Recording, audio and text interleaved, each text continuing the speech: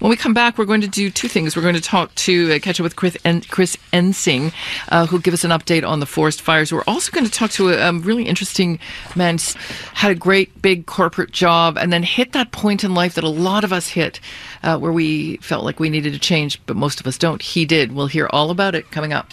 And I'm Karen Gordon in today for Nana aba Duncan. It's the final half hour of Saturday's Fresh Air. Thank you for tuning in this morning. We still have lots coming up. Uh, have clutter. Call Steve. That's Stephen Ilott. He's a professional declutterer, a professional organizer. But how he got to this stage in his life is a life lesson, I think, for all of us. We'll hear his story coming up.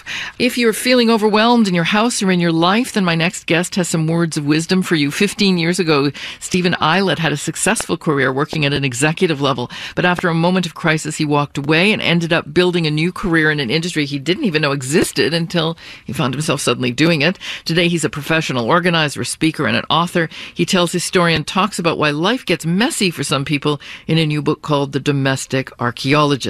Good morning, Steve. Good morning, Karen. So let's talk about you first. A lot of people go through periods where they hate their jobs, where they find it hard to get out of bed, but they do nothing. You hit a breaking point. So, how did you know that it was a breaking point for you?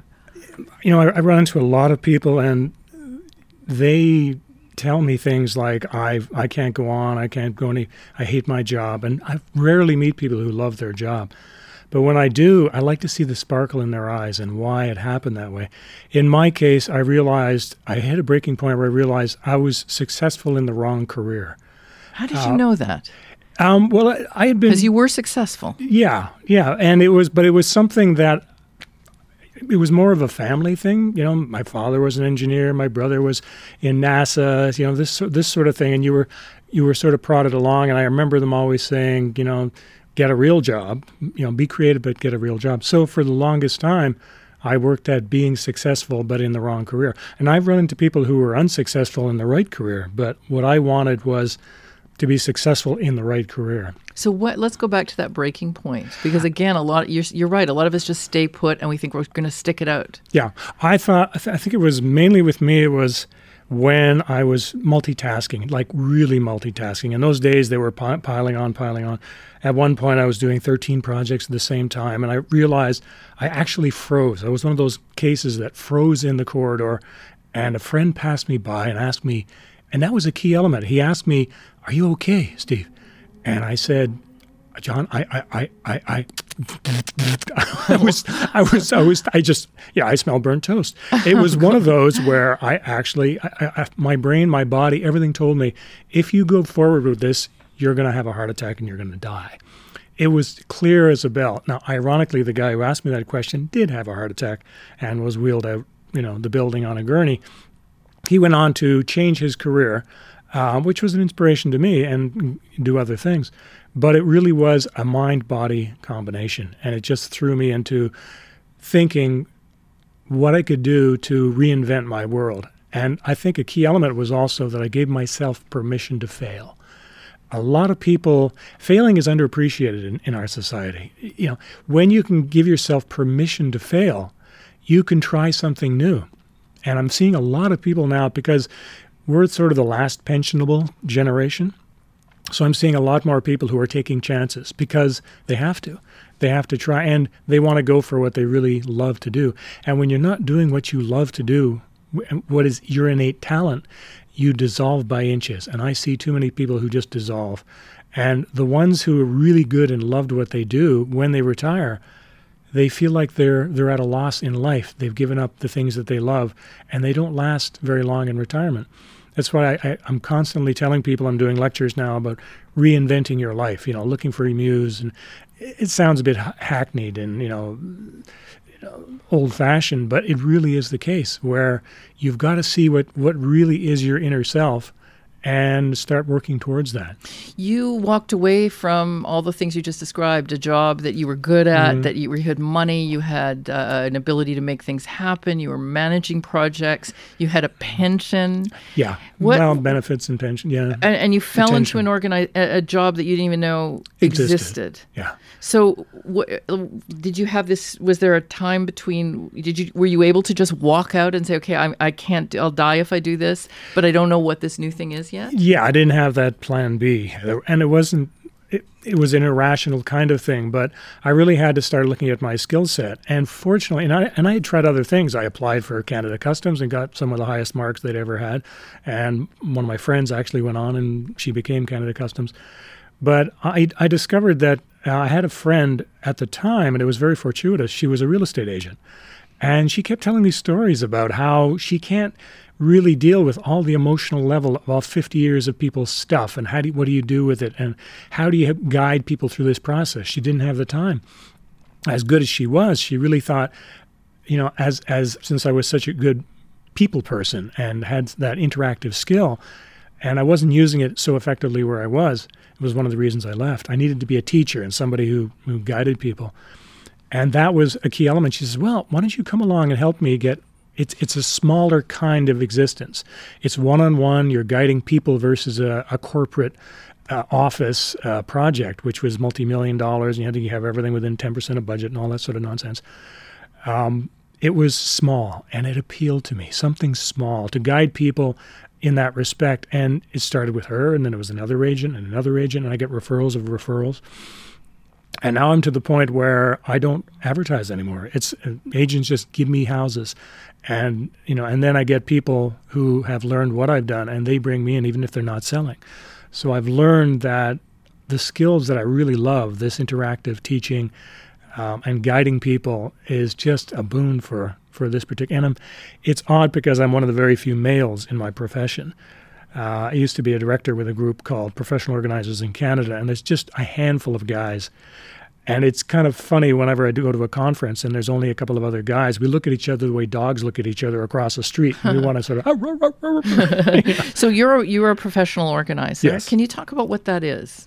Well, the difference between, uh, say, a stager and a professional organizer. A stager will get a multitude of little details to make the house home and garden ready and make it look really nice. It's not it's, it's not or, overly yeah. ergonomic, right. but it looks great on the camera. Whereas an organizer, a professional organizer, dips into the people's lives. That's why I call it domestic archaeology. Uh, that's why I wrote the book, started writing the books, The Domestic Archaeologist. It's because you get to dip into people's lives and guide them and find out what serves them at a point in their lives where they're downsizing, they're letting go. They don't know what to keep or not to keep. And often people are completely you know, bumfuzzled about about what they need to do and how to move forward. You also go into and work with people who are just living their lives and their house has gotten out of control in yes. terms of mess. Yeah. So again, like you come from this big corporate world and now you're finding yourself one on one with people where where you have to basically uh, get them somehow to let you into the thing they're most embarrassed about. Yeah, it's it's a, a, position of privilege because you're stepping into somebody's private space. Once they know I'm not there to judge, I'm not there to tell them what to do, and I'm certainly not you know there to tell them what to get rid of. I'm there to sort of feel their vibe, to find out what serves their lives and what doesn't. And a lot of times, these people are almost at a breaking point. Um, and it's not always uh, uh, corporations or real estate lawyers who need to get a house cataloged for sale or whatever they need to do. Often it's the the touching ones that I really remember. I had a lady, uh, young mother, and she got a hold of me and she said in her email, her young daughter came to her and said, "Can Daddy move us to a neat house?" And she realized at that moment what it was doing to her kids. So I had to discover, and that was a house where I couldn't get in through the front door without shouldering it and moving it, moving all the stuff that was on the floor. Things had just become so overwhelmed. There was such pressure from family to be the perfect mom, the perfect everything, that things just fell by the wayside. So a lot of times it's my job. It's it's kind of like detective work. Where did the thread of their life go off off off balance? As I had one client who said, uh, "Help me find the thread of my life." and I love that. Wow. It's a detective story, and and it's this one-on-one interaction. And once people have that ally that they didn't know existed, they just glam onto that. And oh God, oh, we're going to do this, we're going to do that, you know. And often I find that a lot of that, the household, even these days, it falls on the, the lady of the house, the right. woman of the house. So it's it's a talent I just learned to love and, and hone. You can tell you love this. Yeah, relative to the other thing. No, it's great. It's wonderful. But I, I think it's so like suddenly you are when somebody says, Help me find the thread of my life, like I want to weep. Like it's a very huge Yeah. thing that happens Yeah, there. and a lot of his stories. I love to write humor because I love the quirks and the, the warp and woof of, of mankind. Uh-huh. I love to go in there and I love to find, and I no names, but I will discuss and talk about various stories because I find it's in the stories that we glean our inspiration from from what happened to other people. Because a lot of times people think that they're alone.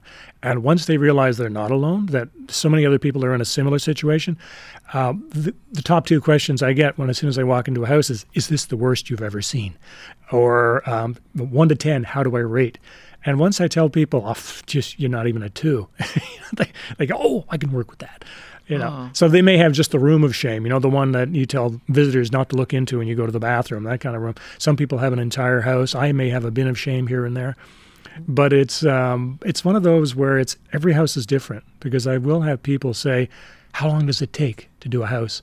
And I go, "Well, how long is a piece of string? I don't know." You know, Why do we do this? Why have we, some of us, gotten to the state where our lives, therefore our houses, are out of control? Is it busyness? Is it emotional issues? it's busyness, and I think it's not applying reality because you're expected to do everything instantaneous. A big problem with most people is they want to, want it to be all or nothing. I'm going to go into this room. I'm going to get it all done. Boom. But what happens? Your your escape mechanism kicks in. You start to go, "Yeah, I can't do this. In, in in inside your brain goes, I can't do this. Run away, run away. So a lot of times people, if they have the all or nothing mindset, nothing gets done. Um, I do find that uh, guys, uh, there's such a, a funny uh, commonality between ladies and guys. Guys are very time and task oriented. You know, I'm going to do this for 10 minutes and then I'm done, and then I'm going to go and you know self medicate with a golf club or something. Uh, whereas the ladies are hemisphere to hemisphere, and it's too many options. I'm going to do this, this, this. I'm going to do this.